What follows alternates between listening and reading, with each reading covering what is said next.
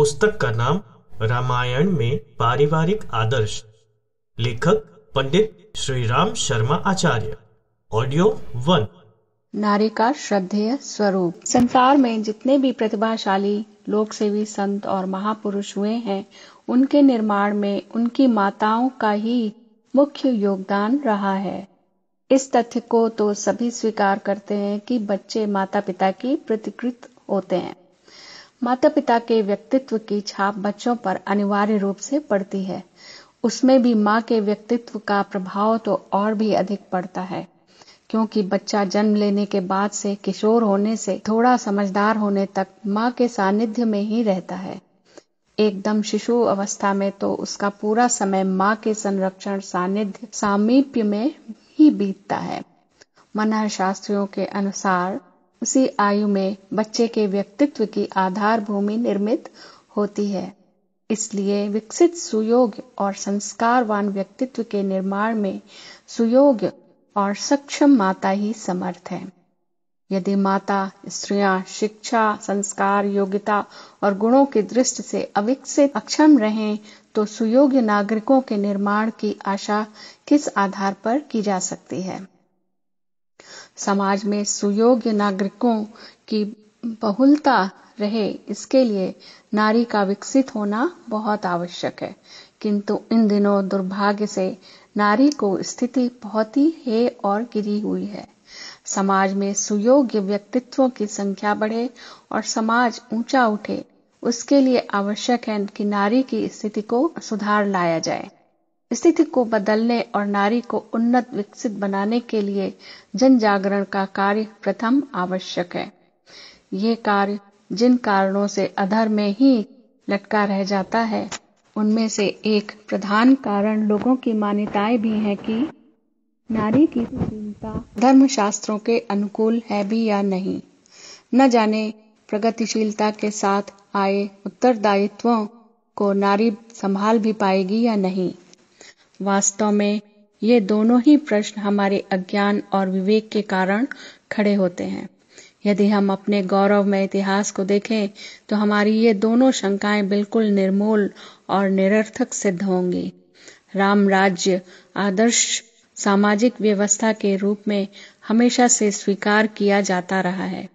मात्र उसी के घटनाक्रमों पर ध्यान देने से ये बोध होता है कि नारी हर क्षेत्र में तथा हर स्तर पर पुरुष की तरह सक्रिय और सफल रही है। मज़े की बात यह है कि धार्मिक, आध्यात्मिक क्षेत्र के व्यक्ति ही नर नारी के बीच भेद मानने का आग्रह करते हैं, जबकि उस स्तर पर सारे सांसारिक भेद भी समाप्त हो जाते हैं। सारा विश्व ईश्वर का ही रूप है और उसने अपने आप को नर और नारी दोनों ही रूप में समान रूप से व्यक्त किया है। गोस्वामी तुलसीदास जी, रामचरितमानस प्रारंभ करते हुए भगवान के विराट रूप इस विश्व की वंदना करते हुए लिखते हैं, सीय राम में सब जग जानी, करहु प्रणाम, ज़ोर युग पानी। सारे जगत को श्री सीताराम में जानकर मैं दोनों हाथ जोड़कर प्रणाम करता हूँ। इस विश्व को भगवान के रूप में नमस्कार करते हुए उन्होंने केवल राम को ही संबोधन नहीं किया, सीता को भी किया है, बल्कि सीता को श्री राम से पहले संबोधित किया। इससे स्पष्ट है कि भगवान, पुरुष और नारी दोनों ही रूप में इस विश्व में संव्याप्त हैं। यदि प्रधानता दी जाए तो नारी रूप ही दिए जाने योग्य है। वास्तव में दोनों का भेद हमारी बुद्धि की कल्पना मात्र है।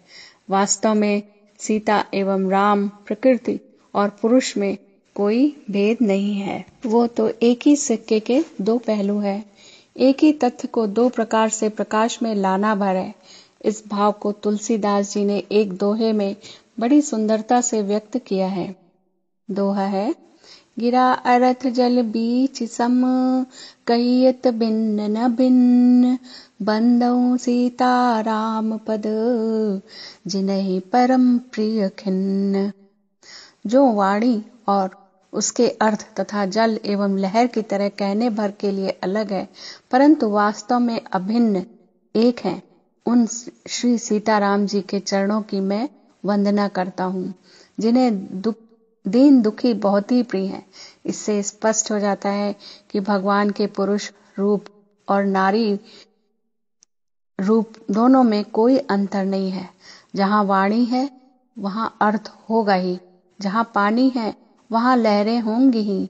उन दोनों के कार्य और महत्ता में कोई अंतर नहीं किया जा सकता। परंतु इन दोनों उक्तियों पर ध्यान देने से यह तथ्य सामने आता है कि पहले बार पद का आरंभ सी से किया गया तथा दूसरी बार गिरा से। दोनों ही स्त्रीवाचक शब्द हैं। ये प्रयोग स्पष्ट रूप से मातृशक्ति को प्रधानता देने के लिए किया गया है। वस्तुतः मातृशक्ति की अपनी ऐसी विशेषता है भी जो अन्यत्र मिलती ही नहीं। वंदना प्रसंग में श्री जानकी जी को वंदना करते हुए तुलसीदास जी ने मातृशक्ति की उस विशेषता को उभारा है। लिखा है ताके जुगपद कमल मनावऊं जा सुकृपा निर्मल मति पावऊं मैं उन श्री जानकी जी के दोनों चरण कमलों को मानता हूँ, जिनकी कृपा से निर्मल बुद्धि पाऊँ। निर्मल बुद्धि की कामना तुलसीदास जी और किसी पात्र से नहीं कर सके, क्योंकि वो केवल मात्र शक्ति से ही मिल सकती है। दार्शनिक पक्ष से देखा जाए तो सद्बुद्धि की प्राप्ति गायत्री महाशक्ति से ही होने का तथ्य सामने आता है। गायत्री भी मात्र रूप है। उसे किसी भी नाम से माना और पुकारा जा सकता है। इससे अंतर कुछ भी नहीं पड़ता। व्यवहारिक दृष्टि से बच्चों को प्यार करने, मिठाई देने, खिलौने देने में तो सभी लोग रस लेते हैं। किंतु यदि बच्चा किसी भी प्रकार गंदा हो जाए तो उसे स्वच्छ बनाने के लिए माँ को ही पुकारा जाता है। निर्मलता प्रदान करना मातृशक्ति की अनुपम विशेषता है। फिर बुद्ध की निर्मलता तो वो विभूति है, जिसके सहारे संसार की हर उपलब्धि पाई जा सकती है। इसी प्रकार जब उसे मात्र रूप में व्यक्त किया जाता है तो भी किसी नारी वाचक नाम रूप के सहारे उसे समझा जा सकता है। वो आदि शक्ति अपनी इच्छा अनुसार कोई भी रूप बना लेती है। नारद जी पार्वती जी के संबंध में यही भाव प्रकट करते हुए कहते हैं, जग संभव पाल निलयकारिणी निज इच्छा लीला बपुदारिणी वे जगत की उत्पत्ति पालन और संहार करने वाली हैं और अपनी इच्छा से ही लीला के लिए शरीर धारण करती हैं। ईश्वर के पुरुष रूप के साथ जो विशेषण जुड़े रहते हैं, वही सब नारी के रूप के साथ भी जोड़े गए हैं। सृजक, पालक, संहारक, वो तीनों ही रूपों में है। यदि प्रभु निज इच्छा निर्मित तनु है तो माँ भी निज इच्छा लीला व पुधारिणी है। वो महाचेतना, जब दोनों रूपों के समान सामर्थ्य युक्त है तो फिर नर नारी में अंतर किस आधार पर रह जाता है? ये नारी के मातृशक्ति के अलौकिक रूप की बात हुई। लौकिक रूप में भी अद्वितीय है। लोग अपने पुरुषार्थ से, अपने गुणों से बड़े बड़े लोगों को प्रभावित कर लेते हैं, उन्हें अनुकूल बना लेते हैं। किंतु नारी तो उस पर ब्रह्म परमात्मा को भी शिशु बनाकर गोद में खेलने के लिए विवश कर देती है। दोहा व्यापक ब्रह्म निरंजन, निर्गुण विगत विनोद। सो अज प्रेम भगति बस कौशल्या के गोद। जो व्यापक निरंजन, माया रहित, निर्गुण विनोद रहित और अजन्मा ब्रह्म है, वही प्रेम और भक्त के वश कौशल्या जी की गोद में खेल रहे हैं। पुरुष अपनी शक्ति से किसी बड़े व्यक्ति को मजबूर करके ऊपर से झुका भी ले तो भी वो अंदर से विद्रोही बना रहता है।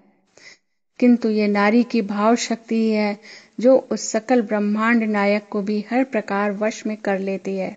सामान्य रूप से लोग भावुकता के क्षणों में अपना बौद्धिक संतुलन खो देते हैं।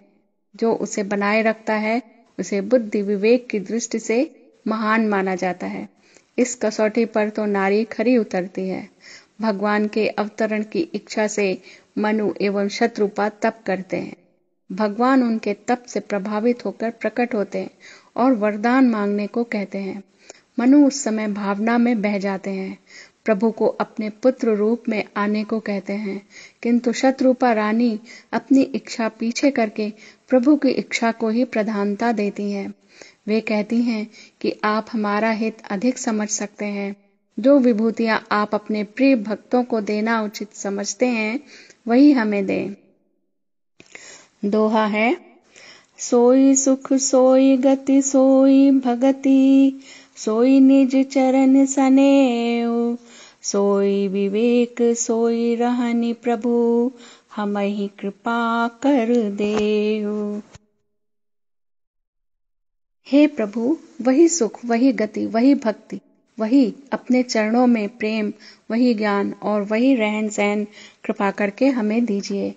मनु और शत्रुपा, दोनों का प्रेम भगवान के प्रति समान था। उन्होंने तब भी समान किया था। फिर मनु अपनी सुखानुभूति को प्रधानता दे बैठे और शत्रुपा ने अपनी इच्छा प्रभु के निर्णय से मिला दी। ये कैसे संभव हो सका? इसका कारण है कि नारी की सहज पवित्रता और समर्पण बुद्धि। इन विशेषताओं के कारण तात्विक दृष्टि से नारी ईश्वर के अधिक निकट रहती है। उसे अधिक स्पष्टता से अनुभव कर पाती है, इसलिए उनके अधिक अनुकूल रह पाती है। किस, किसी विषय की जानकारी होना तथा उस संबंध में अनुभूति होना दोनों में बहुत अंतर है। भगवान सर्वव्यापी है, ये जानकारी सभी को होती है, किंतु उसके विश्वव्यापी विराट रूप की अनुभूति विरलों को ही हो पाती है। नारी में यह क्षमता पुरुष की अपेक्षा अधिक है। जब भगवान राम बालक के रूप में अवतरित हो गए, तब पिता दशरथ नहीं कौशल्या ही उनका विराट रूप देखने में सफल हो सकी। प्रभु ने उन्हें ही वो दिव्य दर्शन दिए। दोहा, दिख रावा मात ही निज अद्भुत रूप अखंड रोम रोम प्रति लागे कोटि कोटि ब्रह्मांड। उन्होंने माता को अपना रूप दिखाया, जिसके एक रोम में करोड़ों ब्रह्मांड लगे हुए हैं। नारी को इस क्षमता के समर्थन में रामायण का एक प्रसंग बड़ा मार्मिक है। रावण अपने अहंकार व श्री राम को साधारण मनुष्य मानकर तकरार बढ़ाता चला जाता है। रावण अद्वितीय विद्वान था, किंतु अभिमानग्रस्त अंतकरण के कारण सूक्ष्म दृष्टि का उसमें अभाव है। परंतु मंदोदरी वो दृश्य देखती है, तथ्य को देखती है, तथा रावण को समझाते हुए उससे अपनी अनुभूति पर विश्वास करने को आग्रह करती है। दोहा विश्व रूप रघुवंश मणि, करहु वचन विश्वासु लोक कल्पना भेद कर अंग अंग प्रतिजासु।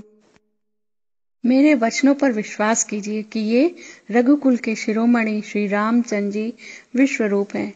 ये सारा विश्व उन्हीं का रूप है। वेद, जिनके अंग अंग में अनेक लोगों की कल्पना करते हैं, इस आग्रह के साथ मंदोदरी ने ईश्वर के विराट रूप का जो वर्णन किया है, उसे देखकर लगता है कि उसे पुरुष सूक्त में वर्णित भगवान के स्वरूप की प्रत्यक्ष अनुभूति थी। भगवान के दार्शनिक स्वरूप का इतना अच्छा वर्णन अन्यत्र कहीं नहीं मिलता। दुख और उत्तेजना के चरणों, के क्षणों में भी विवेक का संतुलन बनाए रखना असामान्य आंतरिक क्षमता का प्रमाण माना जाता है। नारी उस पक्ष से भी कमज़ोर नहीं है। धनुष यज्ञ के प्रसंग में जब ये लगा कि कोई भी वीर सीता के विवाह की शर्त पूरी नहीं कर पा रहा है तो राजा जनक जैसे ज्ञानी भी उत्तेजित हो उठे। जब श्री राम धनुष उठाने के लिए खड़े हुए तो उन्हें बच्चा कहकर उनके प्रयास को अनुचित कहा जाने लगा। किंतु उस बाल वेश के पीछे झलकती तेजस्विता देखने वाली नारी उस समय बोल उठती है बोली चतुर सखी मृदुबानी, तेजवंत लघु गणय नरानी। एक चतुर सखी कोमल वाणी से बोली, हे रानी, तेजवान को देखने में छोटा होने पर भी छोटा नहीं गिनना चाहिए।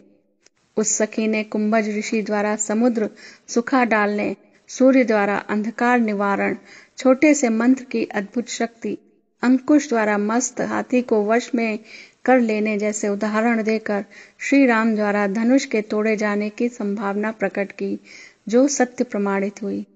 नारी की आंतरिक, भावनात्मक तथा व्यवहारिक क्षमताओं को भुलाकर उसे विवेकहीन, पिछड़ी हुई बुद्धि वाली, कोरी भावुक मानना बड़ी भारी भूल है। नारी में आज जो बौद्धिक पिछड़ापन तथा अनुत्साह दिखाई देता है, वो स्वाभाविक नहीं है। वो तो लंबे समय तक बंधन में रहने, निष्क्रिय पड़े रहने की प्रतिक्रिया ही है। अच्छी से अच्छी धातु का औज़ार भी उपेक्षित पड़ा रहने पर खराब हो जाता है। शरीर का कोई भी अंग लंबे समय तक बाँध कर छोड़ दिया जाए तो वो खुलने पर भी काम करने में असमर्थ लगेगा। नारी को की वर्तमान निष्क्रियता भी यही है।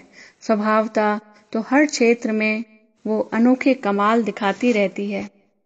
रामायण में ज्ञान और विवेक की तरह भक्ति और तप के संबंध में भी नारी के अपने ही कीर्तिमान है। शबरी महिला थी, वो भी भीलो जैसी अविकसित जाति की। उस पर भी परिवार से परित्यक्ता, एकाकी जीवन बिताने वाली, किंतु उसने साधना के जिस स्तर को पाया, उसकी समानता अन्यत्र मिलना कठिन है।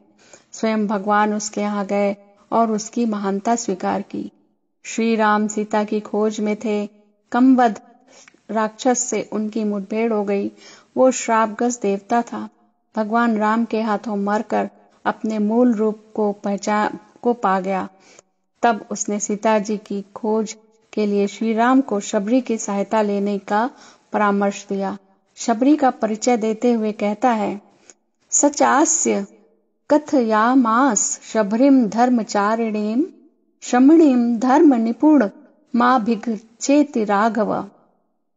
अर्थात, हे राघव, आप शबरी के पास जाइए, वो धर्म का आचरण करने वाली सन्यासिनी धर्म की मर्मज्ञ, वो आपको इस विषय में बताएँगी।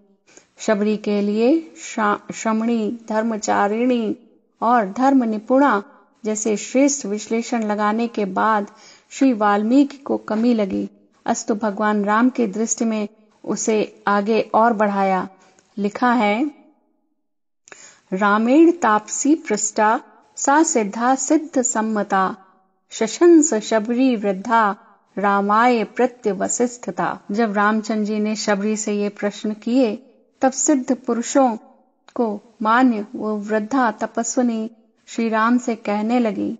वो स्वयं सिद्ध थी और अन्य सिद्धों से मान्यता प्राप्त थी। स्पष्ट है कि उस समय समा, समय का समाज नारी को धर्माचरण में अनाधिकारी नहीं मानता था। शबरी जैसे नारी के सिद्धों के मार्ग पर असाधारण ऊंचाई तक बढ़ने की क्षमता के बारे में कोई शंका नहीं की जा सकती। यही तथ्य तुलसीदास कृत रामचरित मानस में भी प्रकट होता है। भगवान श्री राम उससे अत्यधिक प्रभावित होते हैं। अभिमान से कोसों दूर रहने वाली उस साधिका को शायद स्वयं भी अपनी उपलब्धियों का पता नहीं था। राम ने उसे भक्त के नौ अंग बताए तथा स्वीकार किया कि उसमें भक्त के सभी लक्षण हैं। वे कहते हैं, सोई अतिशय प्रिय भामिनी मोरे, सकल प्रकार भगति दृढ़ तोरे। हे भामिनी, सामान्य भक्त भी मुझे अत्यंत प्रिय है। फिर तुझमें तो सभी प्रकार के भक्त दृढ़ हैं। भक्ति साधना में नारी की प्रमाणिकता का इससे अच्छा और क्या प्रमाण चाहिए? शबरी की सिद्धि का प्रमाण भी इसी प्रसंग में मिलता है। उसे भविष्य के चरण जैसे पहले से ज्ञात है।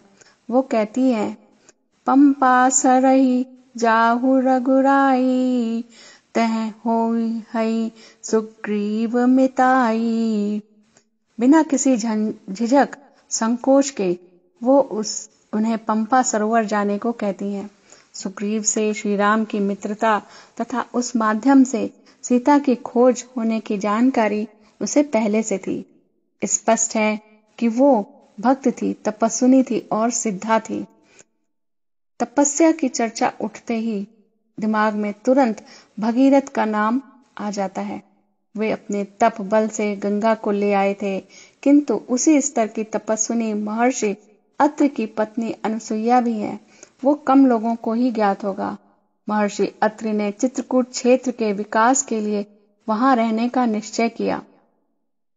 किंतु वहाँ पानी का अभाव था। अनुसुईया ने इन्हें, उन्हें इस अभाव को दूर करके इस पुण्य कार्य को तेज़ी से आगे बढ़ाने का संकल्प लिया। अपने तप बल से उन्होंने मंदाकिनी को उस क्षेत्र में प्रवाहित कर दिया। मंदाकिनी को भी गंगा की एक धारा माना गया है। श्री राम को वनवास के समय चित्रकूट पर निवास करने का निर्देश देते हुए महर्षि वाल्मीकि जी ने ये प्रकट किया है। उन्हीं के शब्द हैं, नदी पुनीत पुराण बखानी आत्र प्रिया निज तप बल आनी। वहाँ पवित्र नदी है जिसकी पुराणों ने प्रशंसा की है और उसको आत्र ऋषि की पत्नी अनसुईया जी तपोबल से लाई थी। ये प्रशंसा नारी की तप शक्ति का बड़ा प्रेरक प्रमाण है। किंतु मानस में तो नारी को तपस्या क्षेत्र में अद्वितीय कह दिया गया है। इस प्रसंग में तो भागीरथ जी अनुसुईया के समकक्ष मिल भी जाते हैं, परंतु पार्वती का तप देखकर स्वयं ब्रह्मा जी कहते हैं, अस तप न कीन भवानी, भय अनेक धीर मुनि ज्ञानी। हे भवानी, धीर, मुनि और ज्ञानी बहुत हुए हैं, पर ऐसा कठोर तप किसी ने नहीं किया है। तपस्या का क्षेत्र कठिन समझा जाता है। कठोर कार्य पुरुषों के उपयुक्त समझे जाते हैं, किंतु यहाँ नारी उस क्षेत्र में भी अनुपम सिद्ध हो रही है। देवी पार्वती ही नहीं, सामान्य महिलाएँ भी श्रेष्ठतम तपस्वियों में रही हैं। सीता खोज के प्रसंग में स्वयं प्रभा नामक अद्भुत शक्ति संपन्न तपस्विनी का विवरण मिलता है। जब बानर वीर सीता का कोई सूत्र न मिलने से हताश होने लगे तथा प्यास से व्याकुल हो गए, तब वे कंदरा में गए। वहाँ उन्हें एक सुंदर आश्रम में तपस्विनी के दर्शन हुए। दोहा है। दीख जाई उपवन वर सर विकसित बहुकंज, मंदिर एक रुचिर तहा, बैठे नारी तब पुंज। अंदर जाकर उन्होंने एक उत्तम उपवन और तालाब देखा, जिसमें बहुत से कमल खिले हुए हैं। एक सुंदर मूर्त मंदिर है, जिसमें एक तपोमूर्ति स्त्री बैठी है। ये तपस्या की साक्षात मूर्ति ही स्वयं प्रभा थी उसने वानर वीरों को भोजन, विश्राम की सुविधा देकर उनकी थकान दूर की और आश्वासन देकर उनका मनोबल बढ़ाया। उन्हें रास्ता बताते हुए कहा मुदहु नयन बिवर तज आ जाहू पैहु सीत ही जान पछाहू। मुदहु नयन बिवर तज जाहू पैहु सीत ही जान पछताहू तुम लोग आँखें मूंद लो और गुफा छोड़कर बाहर जाओ। तुम सीता को पाओगे। पछताओ नहीं, निराश मत हो। उस तपस्विनी ने बानरों को अपने तपोबल से ही समुद्र के किनारे पहुँचा दिया, जहाँ संपाति द्वारा उन्हें सीता का पता मिला। इस प्रकार सीता की खोज में बानर वीरों का मार्गदर्शन यह तपोबल संपन्न नारी ही करती है। यहाँ परंपरावादी ये तर्क उठा सकते हैं कि एक आध कोई महिला उस स्थान तक पहुँच गई। इसका अर्थ ये नहीं होता कि सभी में ऐसी क्षमता होती है। ये भी अपनी मान्यता न बदलने वाला कुतर्की ही है।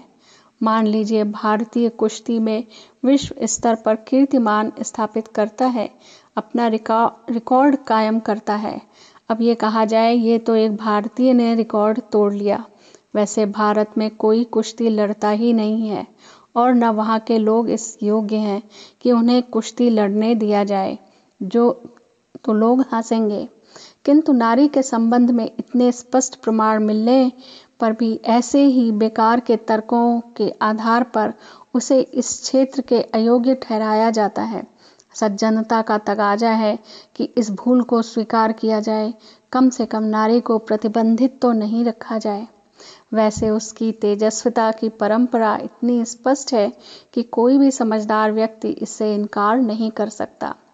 वरदान, आशीर्वाद बहुतों ने बहुतों को दिए होंगे, किंतु मात्र स्वरूपा शक्ति की वरदान क्षमता भी अद्भुत है। हनुमान पर प्रसन्न होकर सीता जी अशोक वाटिका में उन्हें आशीर्वाद देती हैं। अजर अमोर गुण निधि सुत हो करहु बहुत रघुनायक छोहु। पुत्र, तुम अजर, अमर और गुण के खजाने हो। श्री रघुनाथ जी तुम पर बहुत कृपा करें। रामायण में वरदान, आशीर्वाद बहुत दिए गए हैं, किंतु सभी जगह आग्रह पर पूछ पूछ कर एक आध गुण दिया जाता है। ये मात्र शक्ति ही है कि बुढ़ापा रहित, अमरता के साथ सारे गुणों का भंडार भी एक साथ बिना मांगे ही दे देती है। किंतु इसका अर्थ ये नहीं कि वो चाहे जिसे जो वरदान दे देती है। सीता जी ने पहले हनुमान जी की परीक्षा ले ली थी।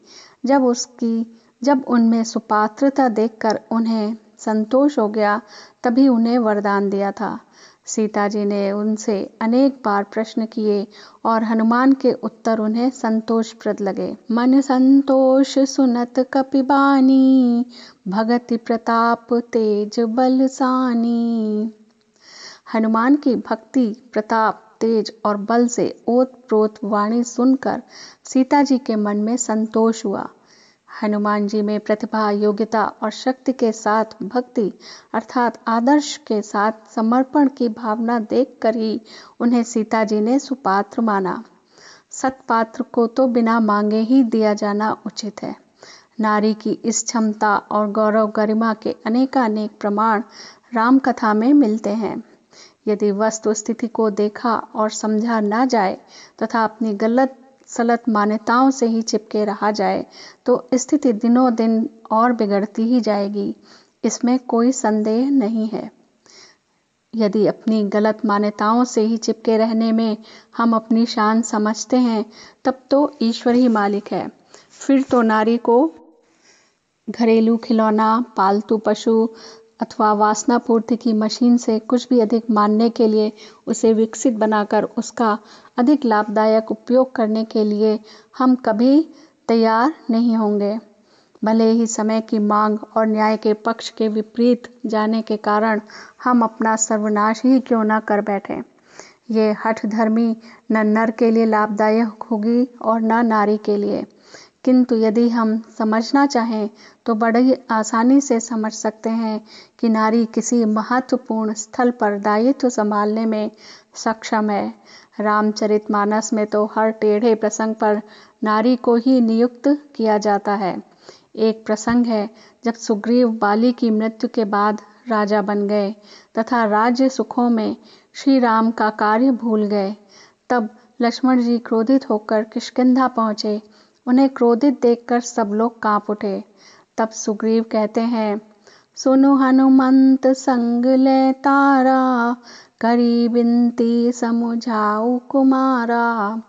हे हनुमान, सुनो, तुम तारा को साथ ले जाकर विनती करके राजकुमार को समझा बुझाकर शांत करो।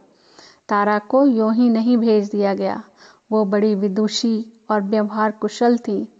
उसने अपने स्नेह और चतुराई से लक्ष्मण जी को पानी पानी कर दिया। वाल्मीकि रामायण में इसका विस्तार से वर्णन मिलता है। उसने लक्ष्मण को बड़ी कुशलता से समझाया कि, सुग्रीव, तुम्हारे बड़े भाई के मित्र के नाते तुम्हारे आदरणीय हैं। उनके प्रति अभद्र व्यवहार शोभा नहीं देता और भाभी के अनुरूप सहज स्नेह प्रकट करके अंदर ले जाकर बिठाला और कहा कि कोई भूल हुई हो तो हम शांति से उसका सुधार कर लेंगे। आप उत्तेजना छोड़ दें। इस प्रकार तारा ने सारे नगर को भय मुक्त कर दिया। एक और विषम परिस्थिति देखिए। महावीर हनुमान जी सीता की खबर लेने अकेले ही लंका के लिए चल पड़े। देवताओं में खलबली मच गई।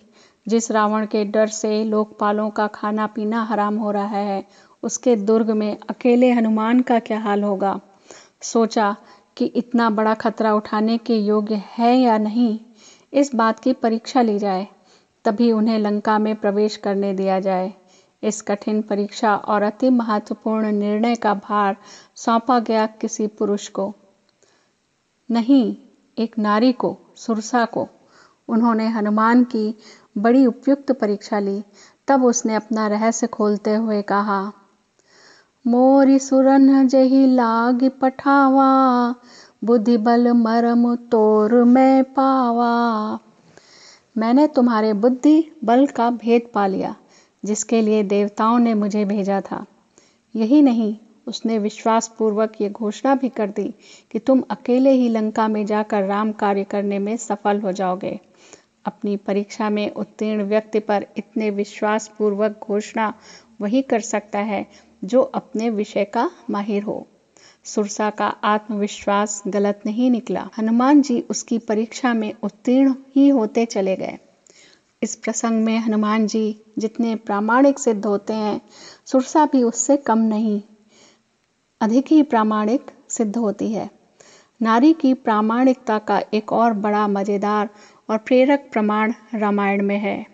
देवताओं के लिए भी अजय राक्षस रावण ने अपने दुर्गम किले के एकमात्र दरवाजे पर किसी पुरुष की अपेक्षा एक नारी को नियुक्त कर रखा था।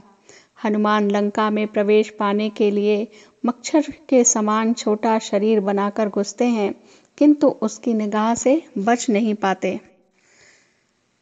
नाम लंकनी एक निशेचरी सो कह चले सी मोहि लंका के द्वार पर लंकिनी नाम की एक राक्षसी रहती थी।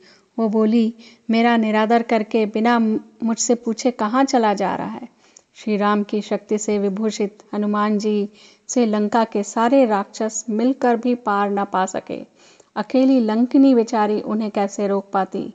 किंतु रावण ने जिस विश्वास से उसे यह महत्वपूर्ण उत्तरदायित्व दिया था, उसमें वो पूरी तरह खरी उतरती है। शौर्य के क्षेत्र में भी नारी के अपने कीर्तिमान है। सक्षम रानियाँ तथा पतियों के साथ युद्ध में भी जाती थीं। महाभारत काल में सुभद्रा की गणना महारथियों में थी। द्रौपदी भी उसी स्तर की नारी थी। कृष्ण अर्जुन युद्ध में अर्जुन की सारथी वो बनी थी। कैकेयी द्वारा दशरथ की प्राण रक्षा का प्रसंग सर्वविदित है। दशरथ जी से वर मांगने के लिए कैकेयी को प्रोत्साहित करते हुए मंथरा उसके जीवन की घटना याद दिलाती है। अपवाह्य त्वया देवी संग्रामान्नष्ट चेतनः तत्रापि विक्षतः शस्त्र पतिस्ते रक्षित स्त्वया। हे देवी, देवासुर संग्राम में जब तुम्हारे पति शस्त्रों में घायल हो गए थे, तब अपने पौरुष से तुमने उनकी रक्षा की थी। इस प्रकार के उदाहरणों से ये बात साफ़ हो जाती है कि भारत की सांस्कृतिक परंपरा के अनुसार नारी के किसी भी क्षेत्र में प्रवेश पर रोक नहीं है और वो सौंपे गए बड़े से बड़े कर्तव्य पालन करने में पूरी तरह सक्षम है।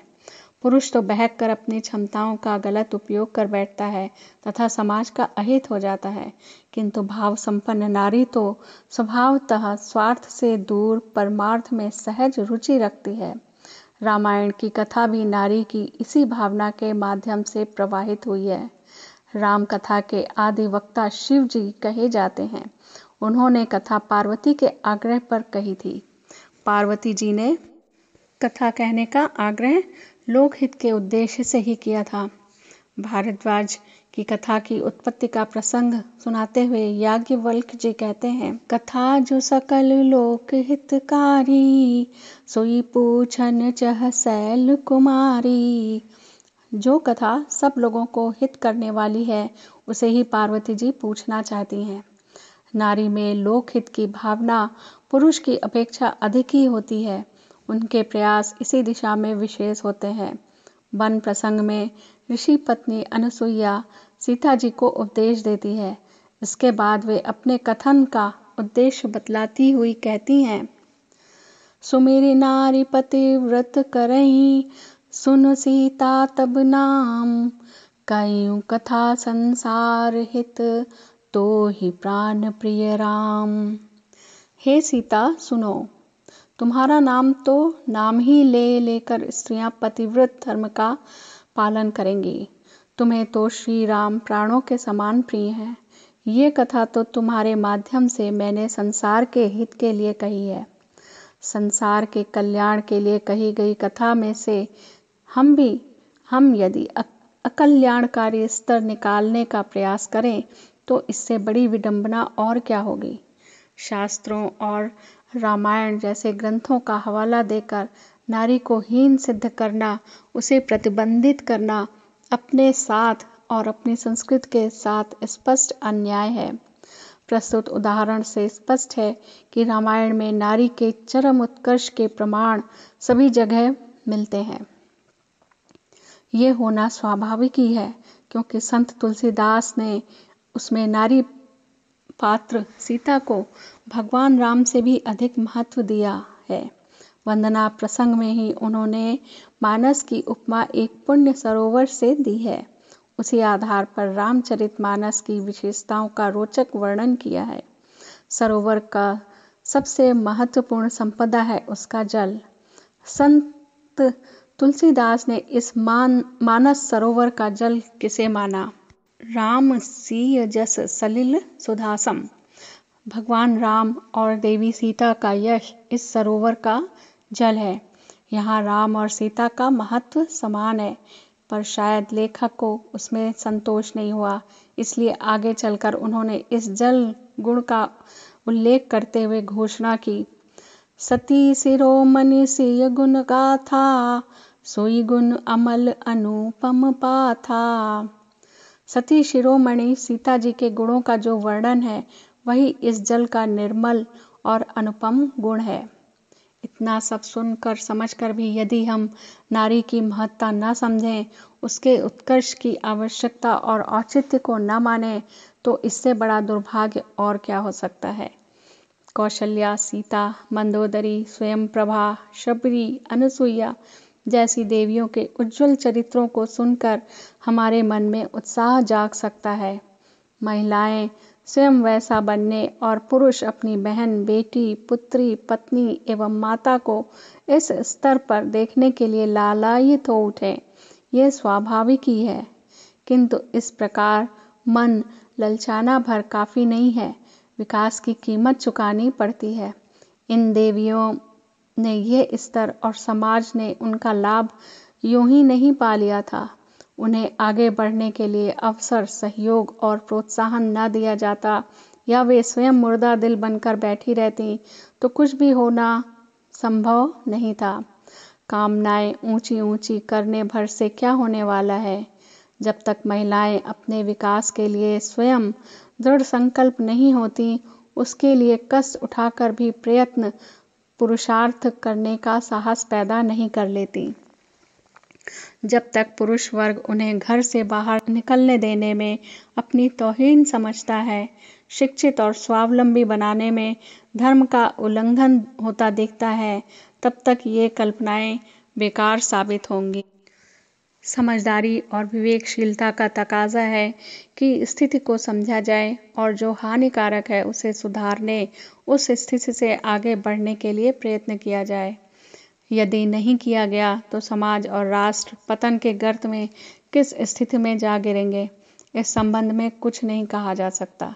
इसके साथ ही इसमें कोई भी संदेह नहीं है कि नारी को यदि विकास और उन्नति के समुचित अवसर प्रदान किए जाएँ, उसे आगे बढ़ने में कोई रुकावट न डाली जाए और वर्तमान अवरोधों को हटाया मिटाया जाए तो समाज आज भी उन्नत स्थिति में पहुँच सकता है और राष्ट्र का भाल गौरवोन्नत हो सकता है। हम अपनी प्राचीन गौरव गरिमा को पुनः प्राप्त कर सकते हैं। महिलाओं के प्रति मान्यता सुधारें। मनुष्य की एक बहुत बड़ी आवश्यकता उसका विवेक है। जब तक वो उसका उचित उपयोग करता रहता है, तब तक हर पक्ष से गौरव और प्रगति पाता रहता है। लेकिन जब प्रमादवश अहंकार के कारण अथवा परंपराओं के दबाव में आकर विवेक की उपेक्षा होने लगती है तो तरह तरह के अनर्थ खड़े होने लगते हैं। समाज में थोड़े मूर्ख हमेशा रहे हैं और रहेंगे। वो अपने स्तर से कुछ न कुछ अटपटी बातें और ऊट पटांग काम किया ही करते हैं। विवेक के अभाव में उन्हें भी परंपरा, लोकरीत मानकर समर्थन दिया जाने लगता है। जैसे जैसे ऐसी गलत परिपाटियों की और उनके मानने वालों की संख्या बढ़ती जाती है वैसे वैसे ही समाज में उल्टे परिणाम सामने आने लगते हैं। नारी के प्रति जनसाधारण की मान्यताएँ इसी ढंग से बिगड़ी हैं।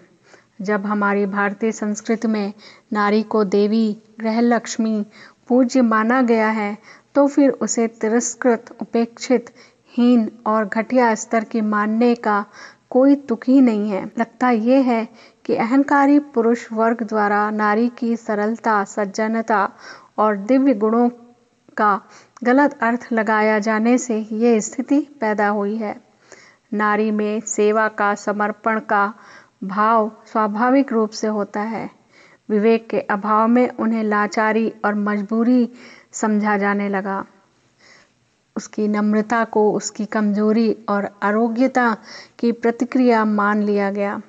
इन गलत मान्यताओं का न किसी ने प्रतिवाद किया, न स्पष्टीकरण किया और नारी के संबंध में पुरुष वर्ग ही नहीं, स्वयं वो अपने आप को आरोग, अयोग्य, दीन, मजबूर और लाचार मानने लगी। नारी के संबंध में पुरुषों की और स्वयं नारी की ये हीन मान्यता बदली जानी आवश्यक है। नम्रता और शालीनता के नाते अपने को छोटा कहना उचित है पर उस कथन को सिद्धांत रूप में मान्यता दे देना बड़ा भारी अनर्थ है। उदाहरण के लिए शबरी का प्रसंग लें। भगवान राम जब उसके पास पहुँचते हैं तो वो भाव विभोर होकर उनका स्वागत करती है और उनके आने का आभार मानती हुई कहती है, कही विधि अस्तुति करो तुम्हारी, अधम जाति में जड़ मति भारी अधम ते अधम अधम अति नारी। दिन मह मैं मति मंद अघारी। हे पापनाशक प्रभु, मैं आपकी वंदना कैसे करूँ? मैं तो जड़ बुद्धि हूँ, महा अधम नारियों में भी मंद बुद्धि की हूँ। शालीनता एवं शिष्टाचार अथवा नम्रता एवं भावुकता के नाते ये सब कथन उचित भी है, माननीय भी। किंतु इस कथन को सुनकर राम उसे महानीच मान लें तो स्वयं शबरी अपने को इतना निकृष्ट बना ले कि दूसरों को उसे नीच कहने का अवसर मिले तो ये अनर्थ ही हो गया। उस समय ऐसा नहीं हुआ, क्योंकि किसी की शालीनता का दुरुपयोग करके अपने झूठे अहंकार को बढ़ाने की परंपरा से वे पात्र मुक्त थे। शबरी क्या थी उन्हें पता था। वाल्मीकि नारायण रामायण में कबंध ने श्री राम को शबरी का परिचय देते हुए कहा, श्रमणी, शबरी नाम काकुस्थ, चिरजीवनी त्वाम तु धर्मे स्थिता नित्यम सर्वभूत नमस्कृतम। हे कुकुत्स्थ वंशी श्री राम शबरी नाम की सन्यासिनी, दीर्घ आयु वाली, धर्म में दृढ़ तथा सबसे सम्मान पाने योग्य है। कबंध ने शबरी को सर्व भूत नमस्क्रम सबसे सम्मान पाने योग्य यूँ ही नहीं कह दिया। शबरी की साधना, उसका आचरण था ही इतना श्रेष्ठ कि स्वयं श्री राम भी उससे प्रभावित हुए बिना न रह सके। अपने को मंद बुद्धि कहने वाली शबरी ने उन्हें जो सलाह दी, उसे उन्होंने सादर स्वीकार किया और उस पर चलकर सफलता भी पाई। इस अधम से अधम में ये क्षमता थी कि उसने स्वेच्छा से योगाग्नि द्वारा शरीर त्याग करके परम गति पाई। वाल्मीकि जी लिखते हैं, यत्र ते सुकृतात्मानो विहरन्ति महर्षय तत्पुण्यम शबरी स्थानम जगामात्मम समाधिना।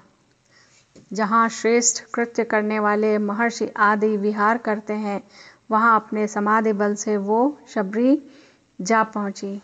शबरी के इस प्रसंग से नारी के संबंध में उसकी उक्ति और उसकी सामर्थ्य का अंतर स्पष्ट समझ में आता है। एक और उदाहरण लें। धनुष यज्ञ के बाद चारों भाइयों का विवाह हो चुका है। माता सुनैना बेटी की विदा के लिए तैयार हैं। श्री राम को बुलाकर स्नेह प्रकट करती हैं और अपनी बेटी सीता को राम के हाथ में सौंप कर नम्रता प्रदर्शित करती हैं। परिवार पुरोजन मोहि राजई, प्राण प्रिय से जानी भी। तुलसी सुशील सने लखी, निज किंकरी कर मानी भी। अर्थात परिवार को पूर्ववासियों को, स्वयं को और राजा को सीता प्राणों के समान प्रिय है, ऐसा जानिएगा। हे तुलसी के स्वामी राम, इसके शील और स्नेह को देखकर इसे अपनी दासी करके मानिएगा। अनुदान देकर भी अहंकार नहीं, नम्रता प्रकट करना हमारी सांस्कृतिक परंपरा है। कन्या पक्ष यदि इसका निर्वाह करे तो वो सराहनीय कहा जाएगा। किंतु कन्या पक्ष की इस शिष्टता, नम्रता को उनकी लाचारी मानना भारी भूल है। इस नम्रता को कन्या के सुख के लिए प्रार्थना या चापलूसी मानकर समय का लाभ उठाए, ऐसा कोई नहीं। यदि कहीं ऐसा होता है तो वो विवेकहीनता का प्रमाण ही कहा जा सकता है। जहाँ एक पक्ष आदर्श मानवीयता का परिचय दे और दूसरा पक्ष इन आदर्शों को त्याग कर अमानवीयता का प्रदर्शन करे, ये कहाँ तक न्याय संगत है? हमारी सनातन परंपरा है कि वर पक्ष वाले भी कन्या पक्ष वालों के प्रति स्नेह, सद्भावना तथा नम्रता, शिष्टाचार का व्यवहार करते हैं। स्वयं भगवान राम ने इस आदर्श को प्रस्तुत किया है। वे बेटी वाले को लाचार एवं दीन नहीं मानते, वरन उनके, उन, इस अनुदान के प्रति कृत, कृतज्ञतापूर्ण व्यवहार करते हैं। सास ससुर को अपने स्वयं के माता पिता के समान सम्मान देते हैं। सासु समीप गए दो भाई, फिरे बंदी पग आशीष पाई। तब श्री राम लक्ष्मण दोनों भाई सास के पास गए और उनको प्रणाम करके आशीर्वाद पाकर लौट आए। जिसने अपनी कन्या बिना शर्त दी है, उसके प्रति सम्मान व्यक्त करना सभ्य व्यक्तियों के लिए उचित है। यही क्रम आगे चलता है। माता सुनैना के नम्रता और भावुकता में कहे शब्दों का लाभ उठाकर कन्याओं के साथ नौकरानियों जैसा व्यवहार कोई नहीं करता। उन्हें पूरा सम्मान और भरपूर स्नेह दिया जाता है। स्वयं राजा दशरथ इसके आदर्श प्रस्तुत करते हैं। नृप सब भांति सबही सन्मानी। कही मृदु वचन बोलाई रानी। बधु लरिकनी पर घर आई। राखे नयन पलक की नाई।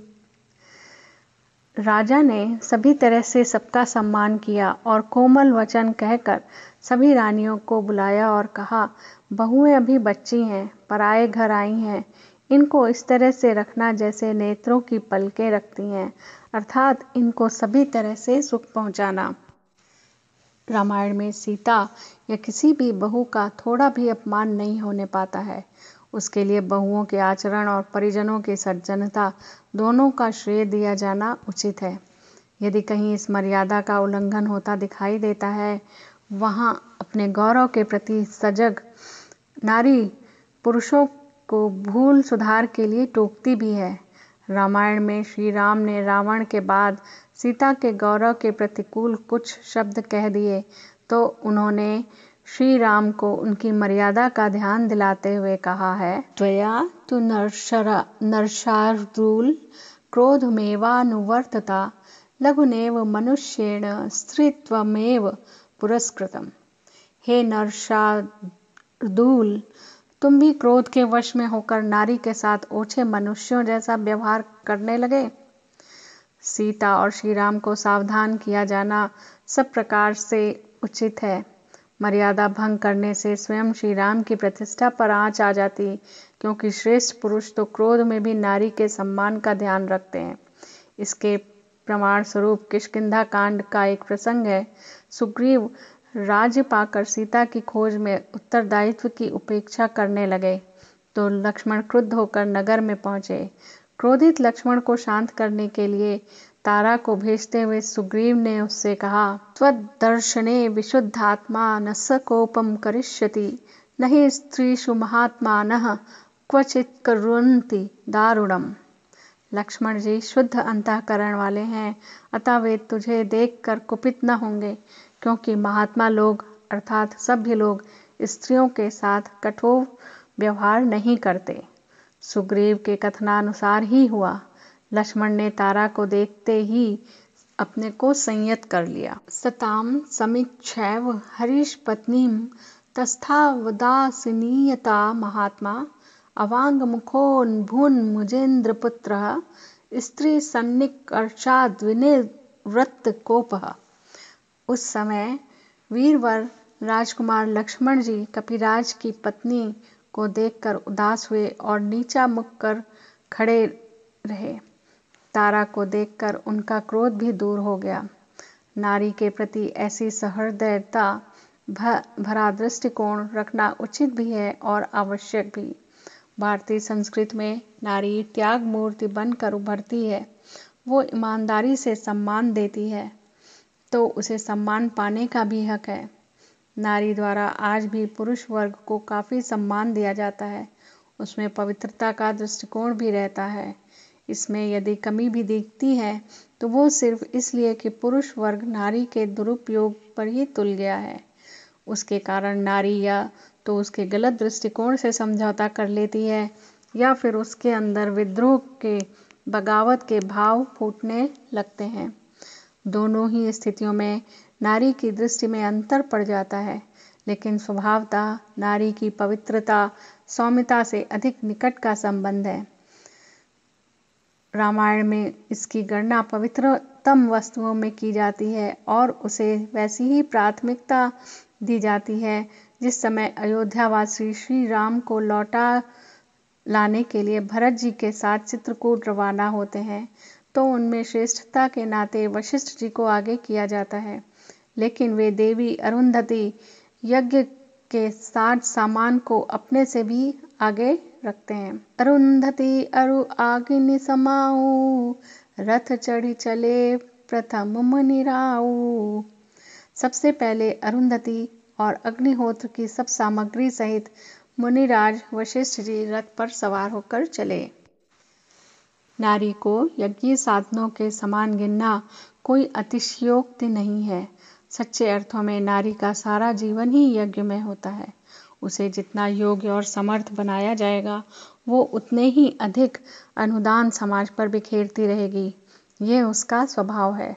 इसीलिए उसके प्रति पवित्र दृष्टिकोण रखने का आग्रह श्रेष्ठ पुरुष करते रहते हैं, करते रहे हैं।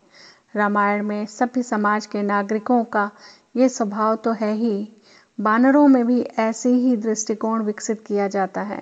लंका विजय के बाद जब सीता जी को श्री राम के पास लाया जाता है तो वे बानरों से कहते हैं देखूँ कपि जननी की नाई, बिहसी कहा रघुनाथ गुसाई।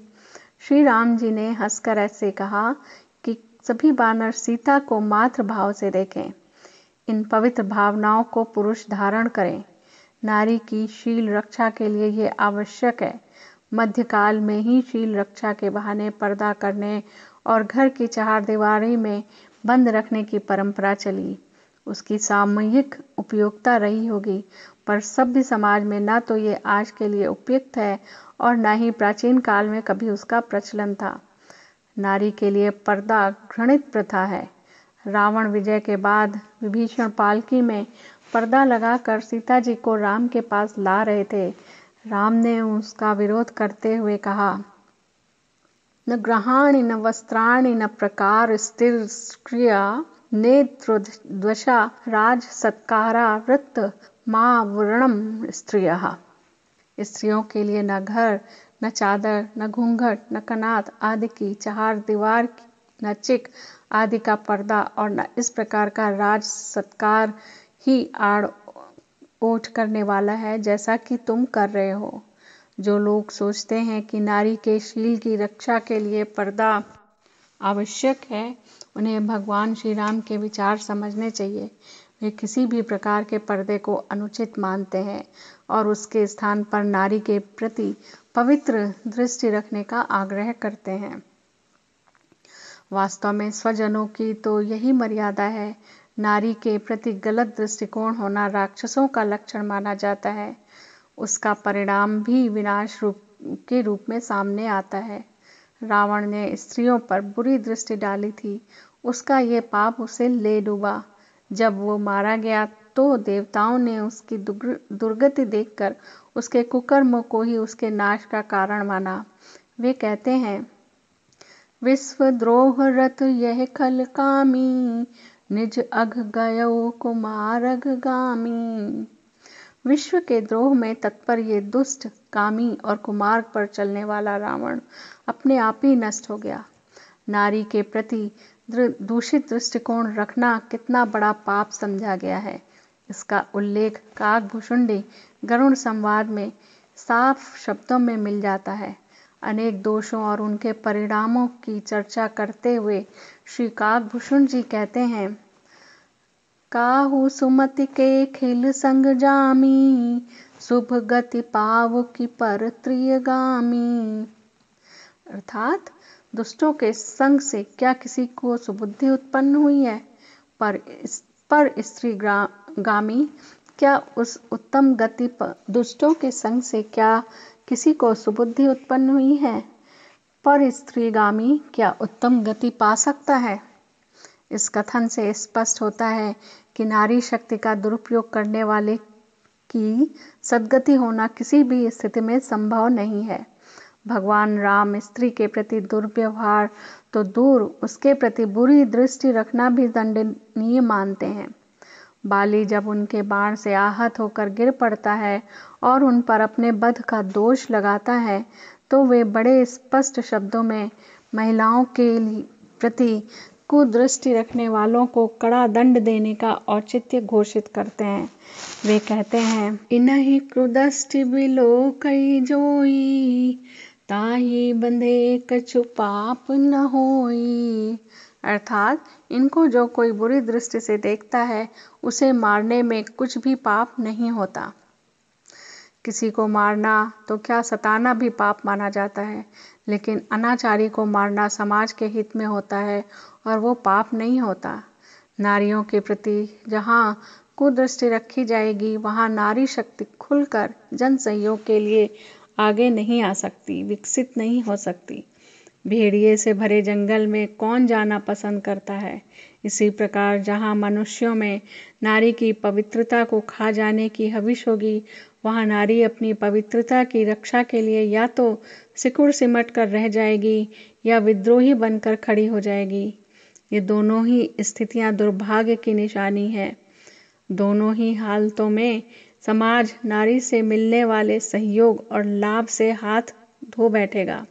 लेकिन जहाँ उसके प्रति पवित्र दृष्टि रखी जाएगी, वहाँ वो हर दृष्टि से विकसित होगी। समाज को अपने सहयोग से लाभ पहुँचाएगी और हर अवसर पर आगे बढ़कर अपनी दिव्य क्षमताओं के द्वारा वातावरण में पवित्रता बिखेरेगी, रस का संचार कर देगी। इसीलिए भगवान राम अपने लोक मंगल के अभियान में नारी के प्रति पवित्र दृष्टिकोण को सदैव महत्व देते रहे हैं और वैसा चरितार्थ होते देखकर संतुष्ट होते हैं। जब सीता जी विवाह मंडप में प्रवेश करती हैं तो उनके प्रति जन साधारण सम्मान का पवित्र भाव ही व्यक्त करते हैं। सीता जब प्रवेश करती हैं, उस समय लोगों की मानसिक प्रक्रिया का उल्लेख इस प्रकार किया गया है। सबई मान ही मन किए प्रणामा देखी राम भय पूरन कामाम सभी ने उन्हें मन मन प्रणाम किया। श्री रामचंद्र जी ये देखकर संतुष्ट हुए। निश्चित रूप से विवाह के समय नगर के सभी वर्गों के हर उम्र के लोग रहे होंगे, लेकिन सभी उन्हें प्रणाम करते हैं। ये अयोध्या के नागरिकों की सज्जनता का प्रत्यक्ष प्रमाण है। श्री राम श्रेष्ठ समाज की रचना के लिए प्रयत्नशील थे। उन्हें ये सत प्रवृत्ति देखकर संतोष होना स्वाभाविक ही था। श्री राम के बारे में यदि भगवान मानने की भावना है तो फिर हर आस्तिक को उनकी प्रसन्नता के लिए नारी के प्रति पवित्र दृष्टि ही रखनी चाहिए। इस बात की पुष्टि और भी अनेक स्थानों पर होती है। वन में वाल्मीकि जी भगवान राम के रहने योग्य स्थानों के माध्यम से भक्तों के गुण बतलाते हैं। वहाँ उन्होंने नारी के प्रति पवित्र दृष्टि का उल्लेख विशेष रूप से किया है। जननी समजान नहीं पर नारी, धनु पराव विषते विष भारी। अर्थात जो पराई स्त्री को जन्म देने वाली माता के समान जानते हैं और पराया धन जिन्हें विष से भी भारी है, रामायण में एकांगी निर्देश नहीं है, जहाँ पुरुषों से नारी के प्रति पवित्र भाव रखने के लिए कहा गया है। वहाँ नारियों के लिए भी संदेश है। मध्यम पर पति देख कैसे? भ्राता पिता पुत्र निज जैसे। मध्यम श्रेणी की महिलाएँ पराये पति को कैसे देखती हैं? जैसे वो अपना सगा भाई, पिता या पुत्र हो। अर्थात समान अवस्था वाले को वो भाई के रूप में देखती हैं, बड़े को पिता के रूप में और छोटे को पुत्र के रूप में देखती हैं। जहाँ दोनों पक्ष अपने अपने दृष्टिकोण के प्रति जागरूक रहते हैं, वहाँ नारी के विकास तथा समाज में हर स्थान पर उपयोगिता का मार्ग खुल जाता है। अयोध्या में जैसा, वैसा मंगल में वातावरण देखने को मिलता है। सकल सुमंगल सजे आरती गावही जनु बहु बेश भारती। अर्थात सभी सुंदर मंगल द्रव्य एवं आरती सजाए हुए गा रही हैं। मानो सरस्वती जी ही बहुत से वेश धारण किए हुए गा रही हों। यह है विकसित समाज का रूप, जिसमें एक दो नहीं, हर नारी ज्ञान और गुणों की दृष्टि से सरस्वती जैसी दिखती है। उसकी योग्यता के विकास और उपयोग के लिए हर रास्ता खुला है। ऐसी स्थिति में नारी कल्याण की मूर्ति बन जाती है। श्री राम के विवाह के समय भी यही रूप सामने है। रची आरती बहुत विधाना, मुदित करई कल मंगल गाना। अर्थात शकुन और सुगंधित वस्तुएँ बखानी नहीं की जा सकती। सब रानियाँ संपूर्ण मंगल साज सजा रही हैं। बहुत प्रकार की आरती बनाकर वे आनंदित हुई। सुन, सुंदर मंगल गीत गाने, गाना गा रही हैं। शकुन और सुगंधित वस्तुएँ बखानी नहीं जा सकती। सब रानियाँ संपूर्ण मंगल साज सजा रही हैं। बहुत प्रकार की आरती बनाकर वे आनंदित हुई। सुंदर मंगल गान कर रही हैं। मंगलमय प्रसंगों में महिलाओं को आगे रखा जाता है। शुभ चिन्ह लेकर वही खड़ी होती हैं। धार्मिक कर्मकांड में भी नारी को प्रधानता दी जाती रही है। ऐसे समय पत्नी को पति के दाई ओर बिठाया जाता है। ये सब होते हुए भी न जाने कहाँ से ये मान्यता आ घुसी कि धर, नारी को धर्म शास्त्रों वेद मंत्रों का पाठ नहीं करना चाहिए यज्ञ नहीं करना चाहिए आदि आदि। हमारी संस्कृति में कभी इस दिशा में रोक नहीं रही। पुरुष ही नहीं नारी भी संध्या वंदन करती थी। राम वनगमन के समय राम लक्ष्मण और सीता द्वारा श्रृंग वेरपुर में की गई उपासना का इस प्रकार वर्णन किया गया है। ततस्तु जल शेषेण लक्ष्मणोप्य करोत्तदा वाग्यातास्ते त्रयं संध्याम समुपासंत संहिता। तदंतर लक्ष्मण जी ने भी जो जल बच रहा था, उसका उपयोग किया। तदनंतर तीनों ने मौन और एकाग्रचित होकर संध्या वंदन किया। सभी जानते हैं कि संध्या वंदन में गायत्री मंत्र का प्रयोग अवश्य होता है। इससे स्पष्ट है कि संध्या वंदन गायत्री साधना, वेद मंत्रों का पाठ आदि नारियों के लिए भी उतने ही स्वाभाविक कार्य है जितने कि पुरुषों के लिए। जब पति पत्नी में कोई भेद नहीं रह जाता तो पति के करने योग्य हर कार्य पत्नी के लिए वर्जित क्यों हो? पूजा पाठ में ही नहीं, महर्षि वशिष्ठ तो पति के स्थान पर पत्नी को राज सिंहासन सौंपने के पक्ष में थे। वाल्मीकि रामायण में प्रसंग आता है कि जब श्री राम को वन जाने की आज्ञा हो जाती है तो वशिष्ठ जी देवी सीता को उनके स्थान पर सिंहासन आरूढ़ करने का प्रस्ताव रखते हैं। आत्मा ही दार सर्वेशम दार संग्रह वर्तिनाम आत्मेय मिति रामस्य पालयिष्यति मेदिनीम सभी गृहस्थों की स्त्रियाँ उनकी आत्मा ही हो जाती हैं। अतः सीता भी राम की आत्मा है। वो यहाँ रहकर राज सिंहासन पर बैठ पृथ्वी का पालन करेंगी। इस उदाहरण से ये बात शीशे की तरह साफ़ हो जाती है कि नारी उस समय प्रतिबंध तो थे ही नहीं। उनमें बड़े से बड़े दायित्व संभालने की योग्यता भी होती थी। नारियों द्वारा मंत्र पाठ के प्रमाण वाल्मीकि रामायण में कई स्थानों पर मिलते हैं। बाली की पत्नी तारा भी विदुषी थी। उसने बाली को सुग्रीव से लड़ने से रोका, पर जब वो नहीं माना और सलाह की उपेक्षा करके चला गया तो ततः स्वस्त्ययनम कृत्वा मंत्र वृद्धिज यैषिणी अंतपुरम सह स्त्री भी प्रविष्टा शोक मोहिता बाली की विजय के लिए मंत्र युक्त मंगलाचार कर शोकाकुल हो अन्य स्त्रियों सहित रनवास को चली गई। दुख आ पड़ने पर उसके निवारण के लिए अन्य प्रयासों के साथ पूजा पाठ व्रतादि की अपनी परंपरा रही है। उससे नारियाँ भी पुरुषों के साथ रहें, ये उचित ही है। श्री राम के वन गमन पर अयोध्यावासी स्त्री पुरुष सभी जब तप करते हैं। दोहा, राम दर सहित नेम व्रत, लगे करन नर नारी, मनहु कोक कोकी कमल, दीन विहीन तमारी। अर्थात श्री राम के वियोग में अयोध्यावासी नर नारी ऐसे दुखी हो गए, जैसे चकवा चकवी और कमल सूर्य के बिना दीन हो जाते हैं। अतः वे भी श्री राम के दर्शन की इच्छा से नियमों और व्रतों का पालन करने लगे। स्त्री पुरुषों द्वारा समान रूप से प्रयास करने की बात तो यहाँ स्पष्ट है ही। दुख आ पड़ने पर मनुष्यों के लिए उचित आचरण का संकेत भी है। दुख का रोना रोने से उसका निवारण नहीं होता और हाय हाय मचाने से परिस्थितियाँ नहीं बदलती। उसके लिए आवश्यक है कि जैसी परिस्थितियों की इच्छा की जाती हो, उसे पैदा करने के लिए आवश्यक नियम और संकल्प का क्रम बनाया जाए। उस दिशा में एक संकल्प लिया जाए, उसे किया जाए और फिर अगले चरण का संकल्प लिया जाए। ये क्रम व्रतशील जीवन क्रम कहलाता है। यदि शक्ति कम है तो भी इस क्रम से छोटे छोटे टुकड़ों में मंजिल पूरी करते हुए बड़े बड़े लक्ष्यों तक पहुँचा जा सकता है। अयोध्यावासी, नर, नारी सब एक ही दिशा में मिलजुल कर प्रयास करने लगे तो राम राज्य की स्थिति पैदा हो गई।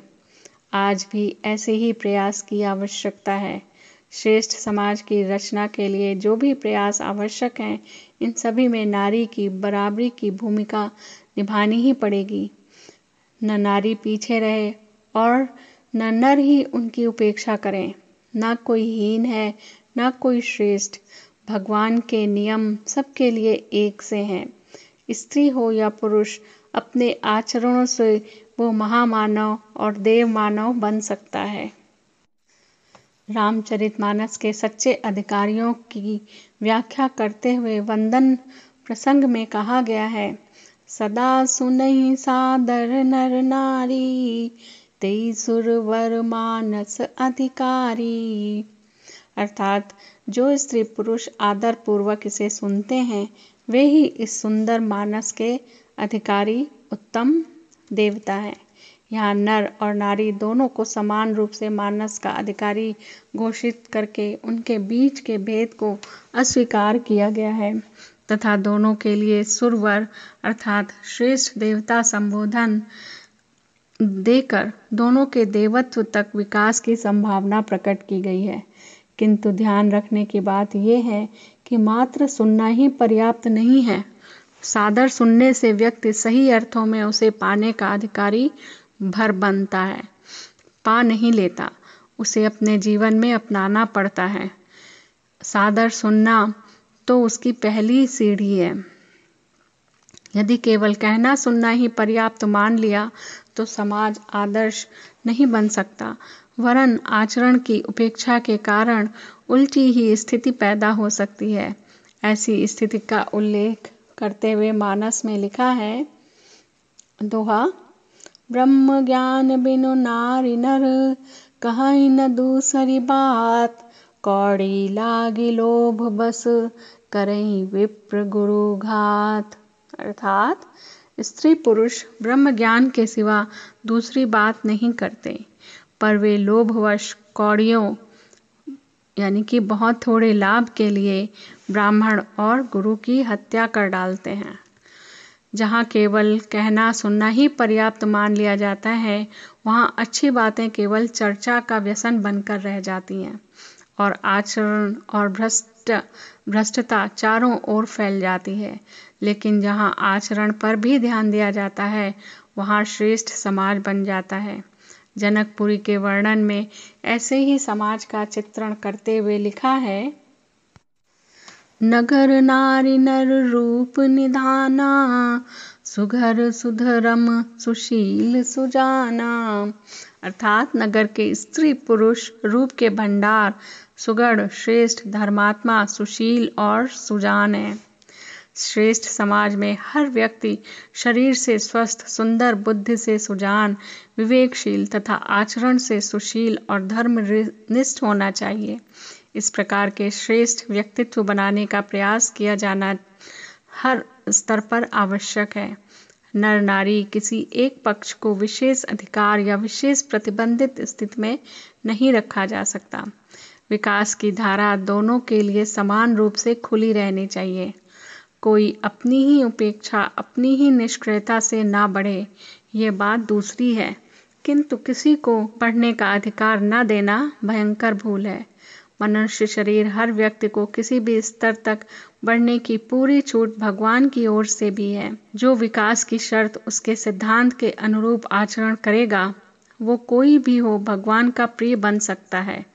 लिखा है, दोहा पुरुष नपुंसक नारिवा जीव चराचर कोई। सर्व भाव भज कपट तजी, मोहि परम प्रिय सोई। अर्थात, वो पुरुष ही नपुंसक हो, स्त्री हो, अथवा चर अचर कोई भी जीव हो, कपट छोड़कर जो भी सर्व भाव से मुझे बचता है, वही मुझे परम प्रिय है। इन सबसे ये बात स्पष्ट हो जाती है कि अपने विकास के लिए स्त्री या पुरुष किसी पर भी प्रतिबंध नहीं है। स्वयं विकसित होकर स्वयं अपने लिए तथा समाज के लिए दोनों ही समान रूप से उपयोगी सिद्ध हो सकते हैं। ऐसा होना आवश्यक भी है। राम राज्य के अंतर्गत ऐसी ही स्थिति है। उस समय की स्थिति के वर्णन में रामचरितमानस में लिखा है, सब निर्दम्भ धर्म रत पुनि नर अरु नारी, चतुर सब गुनी, सब गुणज्ञ पंडित, सब ज्ञानी, सब कृतज्ञ नहीं कपट सयानी। अर्थात नारी, नर और नारी सभी दम्भ रहित हैं, धर्म परायण हैं और पुण्यात्मा हैं, सभी चतुर और गुणवान हैं, सभी गुणों का आदर करने वाले और पंडित हैं और सभी ज्ञानी हैं, सभी कृतज्ञ दूसरों के लिए किए हुए उपकार को मानने वाले हैं। कपट, चतुराई, धूर्तता किसी में नहीं है। कैसा स्पष्ट और सुंदर है। नर, नारी, उनमें से कुछ नहीं, सभी श्रेष्ठ गुण और आचरण संपन्न है। जिस समाज में ऐसी स्थिति पैदा की जा सकेगी, वो सचमुच राम राज्य का सच्चा प्रतीक कहा जा सकेगा। इसी प्रकार राजा प्रताप भानु की कथा में भी आदर्श समाज व्यवस्था का वर्णन मिलता है। सब दुख वर्जित प्रजा सुखारी। धर्मशील सुंदर नर नारी। उनके राज्य में प्रजा सब प्रकार के दुखों से रहित, सुखी थी और सभी स्त्री पुरुष सुंदर और धर्मात्मा थे। कहने की आवश्यकता नहीं कि जहाँ सभी नर नारी धर्मशील होंगे, वहाँ सुख की स्थिति होना स्वाभाविक ही है। रामायण में राजा जनक भी आदर्श राजा हैं, तथा उनकी प्रजा सब प्रकार सुख संपत्ति की अधिकारी है। उनके वर्णन में भी नर नारी दोनों की समान स्थिति देखने को मिलती है। पुर नर नारी सुभग सुचि संता, धर्मशील ज्ञानी गुणवंता नगर के सभी स्त्री पुरुष सुंदर, पवित्र साधु स्वभाव वाले धर्मात्मा ज्ञानी और गुणवान है। आदर्श समाज ऐसा ही होना चाहिए। अस्तु नारी के प्रति हीनता का भाव हटाया जाए, उसे विकास का पूरा अवसर और भरपूर सहयोग दिया जाए। स्वयं नारी आत्महीनता के घेरे से बाहर निकले, अपने आप को उस सम्मान के अनुरूप बनाए, जिस आधार पर उन्हें पूज्य कहा जाता रहा है। नर नारी के नाम पर अंतर करना गलत है। अंतर रहे तो गुणों के, चरित्र के आधार पर रह सकता है। वो तो नारी नारी और पुरुष पुरुष के बीच भी रहता है। सुमित्रा और मंथरा, सूपनखा तथा मंदोदरी, मारिच और केवट जैसों में अंतर बना ही रहेगा। अस्तु नारी के प्रति हीन भाव हटाकर उसके प्रति पवित्र दृष्टि पैदा करना सभी के हित में है, ऐसा किया ही जाना चाहिए।